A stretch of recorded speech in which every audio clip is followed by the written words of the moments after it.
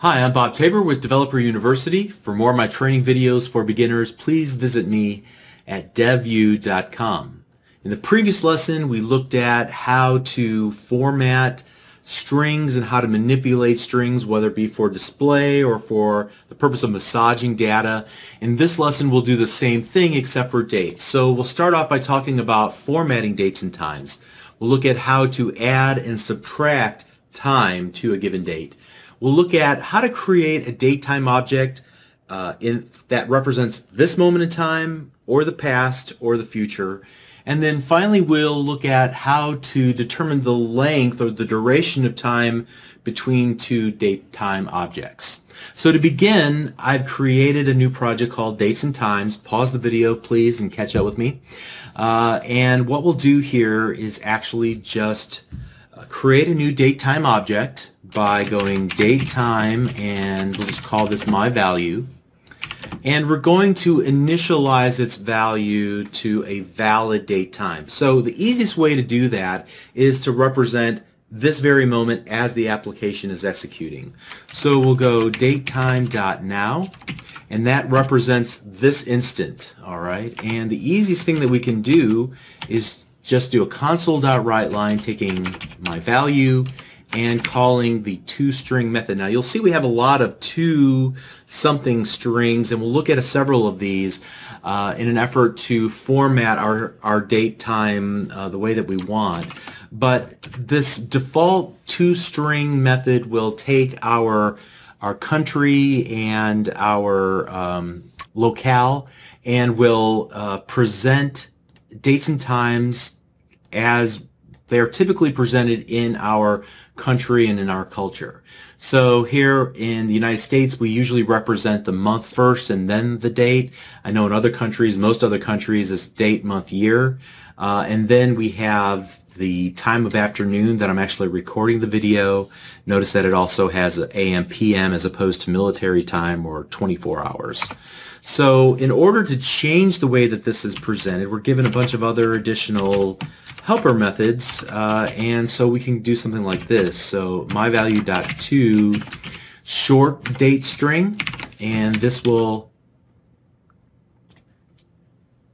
this will just display the month, date, year. We can also do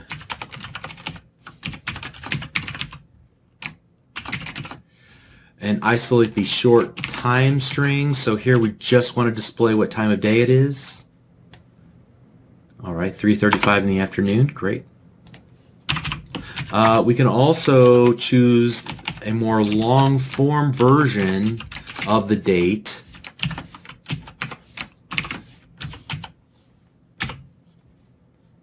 And you can see it's Tuesday, March 15, 2016 as I record this. And we can do the same longer version for time as well. So my value dot to long time string.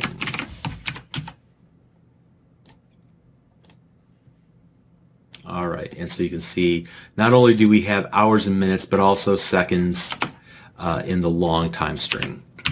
Great.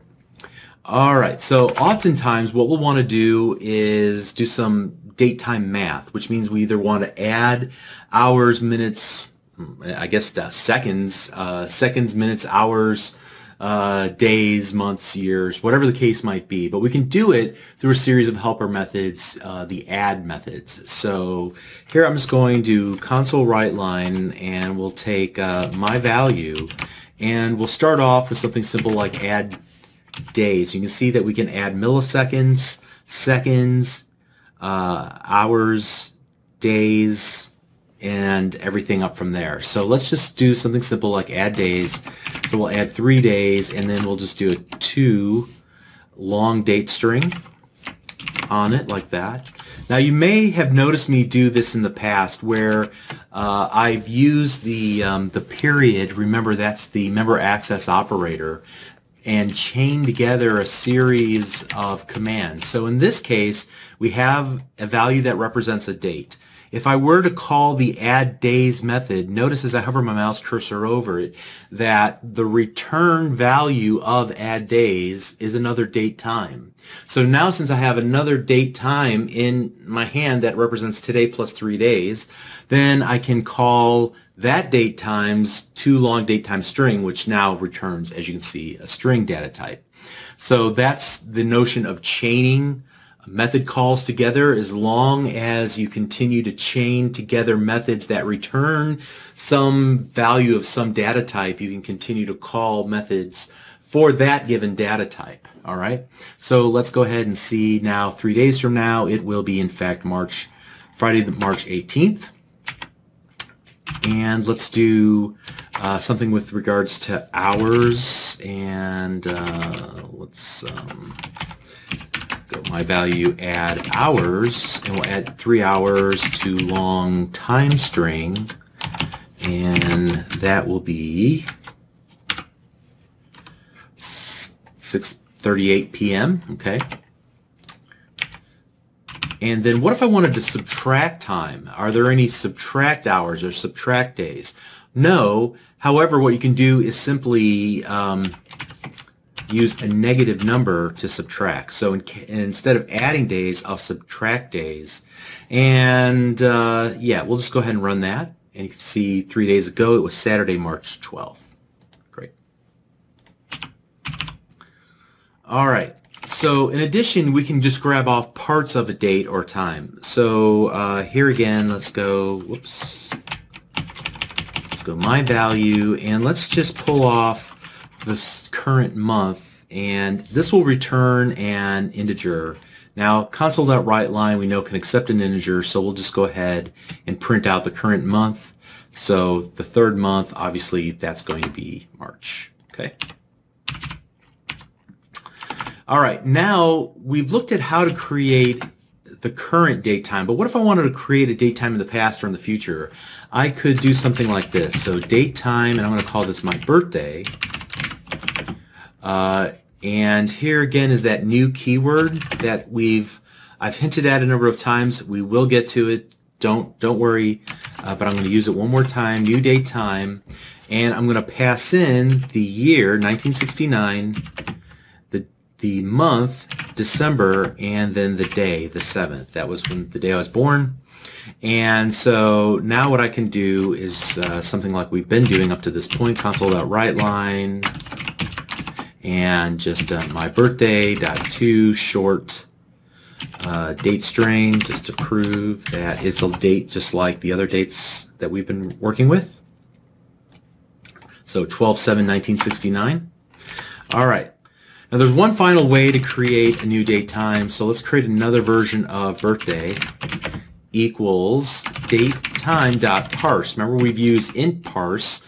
We were able to take a string and turn it into an integer. Here we're going to take a string and turn it into a date, hopefully. So we'll just type in my birthday again one more time. And that should give us a date time object that represents December 7, 1969. Uh, and now what I'm going to do is try to determine how many hours that I've been alive or how many days I've been alive. Days is probably a more interesting number. And in order to represent a span of time, we're going to use a new data type called time span. So here I'm going to use a new time span and we're going to call this my age equals datetime.now dot now dot subtract, and the subtract method will take a uh, the current date and subtract whatever date we want to use. So in this case, we'll use my birthday. Okay, so now that I have an object that represents a span of time, I can say uh, represent that span of time in terms of days or years or whatever the case might be. So to do that, I'll go console.writeLine and then I'll use this my age dot and here I can say give me the total number of days that I've been alive and print those to screen and you can see I've been alive what almost well 16,900 days whew I'm getting old. Okay, I say that every time I record this video, and I feel older every time. So at any rate, uh, here we were able to uh, format dates for display. We're able to manipulate dates by adding and subtracting date and time.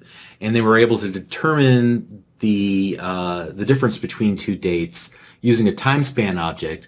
We also talked about different ways to create a date, whether it be now or sometime in the past or future by either just using one of the uh, versions of the date time objects constructor, we'll talk about that later, or by using datetime.parse and passing in a string. Okay, so uh, let's stop right there and we'll pick it up in the next lesson. Doing great. See you there. Thanks.